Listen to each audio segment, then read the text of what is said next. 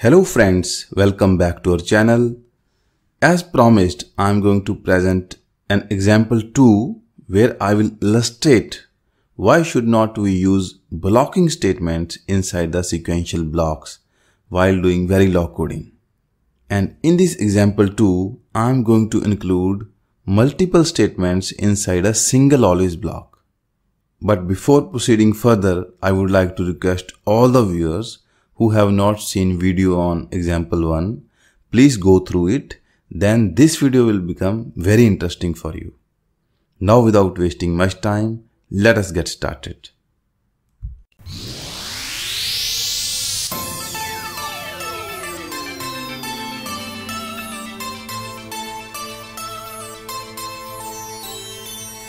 Friends, just for your information, as per Verilog design guidelines, while modeling sequential logic, one must use non-blocking assignments.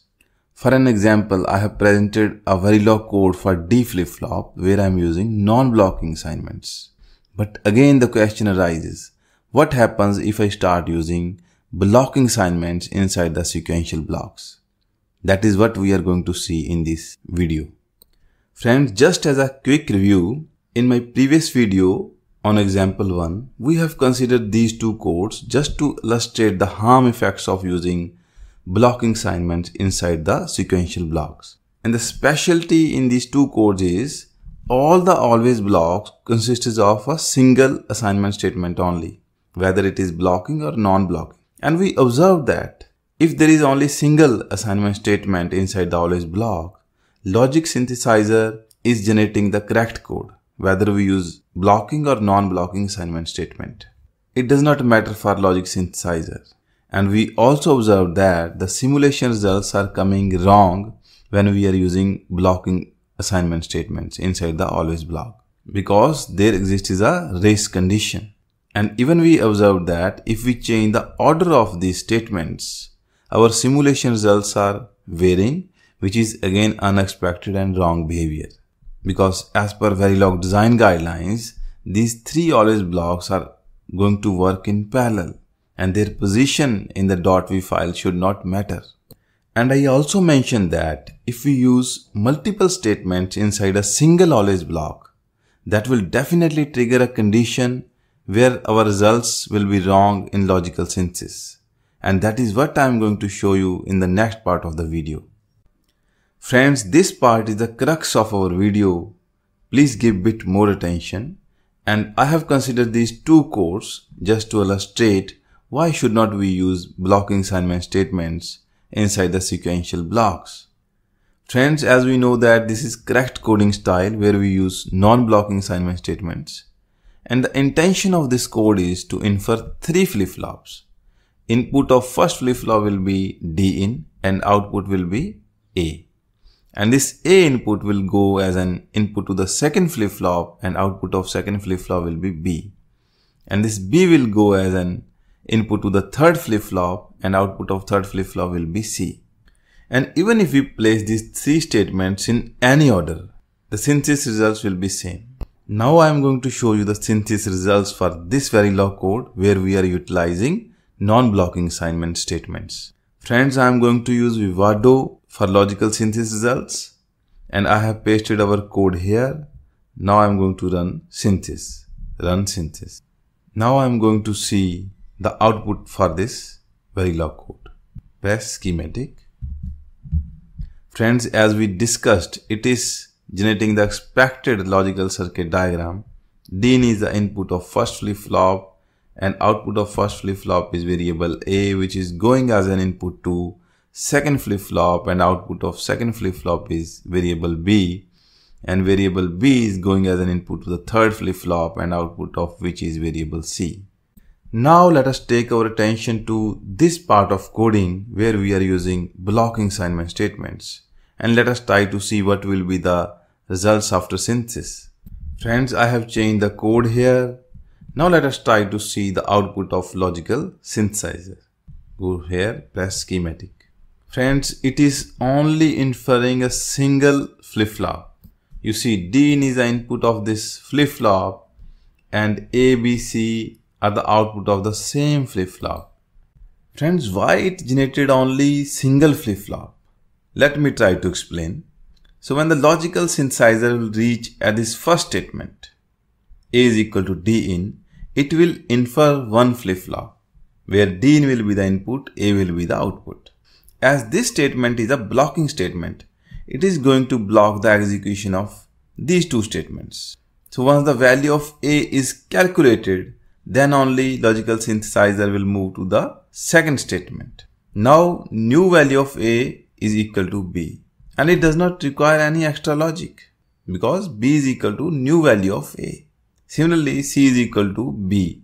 It also does not require any extra logic. So that is why at the output of the flip-flop all the three nodes are placed.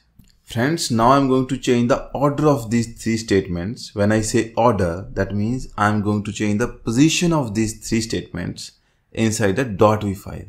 And I will show you that logical synthesis results are varying, which is again an unexpected behavior. In the first go, I'm taking the second statement at the first position. And now let us try to see the logical synthesis results. Go to here, press schematic Friends, just see it has inferred two flip-flops. D in is the input of first flip-flop and output of which is variable A, which is going as an input to the second flip-flop and output of which is variable B and C.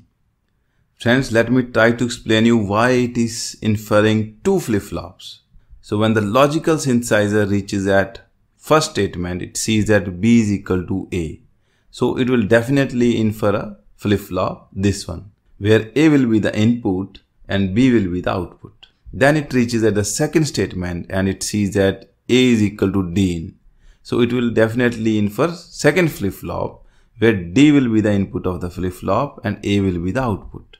Now when it reaches at the third statement where we say C is equal to B, B is already calculated. So it will place both the variables C and B at the output of the second flip-flop. Friends, now I'm going to order these statements in such a way that I will yield the same results as we got with non-blocking assignment statements. Let us see.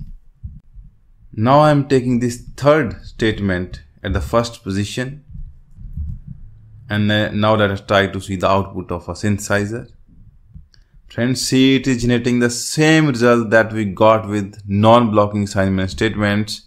D is the input of first flip-flop and output of which is variable A which is going as an input of second flip-flop and output of which is variable B which is acting as an input to third flip-flop and output of third flip-flop is variable C.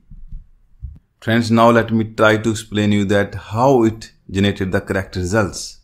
So when the logical synthesizer reaches at the first statement C is equal to B, it will infer this flip-flop where output will be variable C and input will be variable b. Now it reaches to the second statement b is equal to a. Then it infer the second flip-flop, output of which will be variable b and input will be variable a. Now when it reaches the third statement a is equal to d in, it will infer this third flip-flop where d in will be the input and a will be the output. Friends, as we observed so far that when we are using non-blocking assignment statements, we need not to take care the order of the statements within the always block. They are all going to execute in parallel. But when we are using blocking assignment statements, to get the desired results, we need to take care the ordering of the statements. But let me tell you, as per my practical experience, when the code reaches thousand and thousand lines, it is very difficult to maintain this ordering and there is huge possibility of errors. Hence, it is always recommended to use non-blocking assignment statements within the sequential blocks. Friends, now I have a question for you and the question of the day is, you have to generate the output of logical synthesizer for this very Verilog code. Here I have used mixed blocking and non-blocking assignment statements. Please write your answer in the comment section and I will reply there.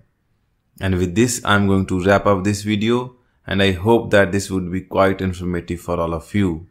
And in future, we are going to make many such videos which will definitely help you to boost your confidence level.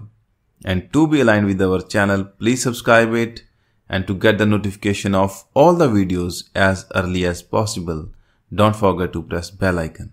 Thank you so much for watching.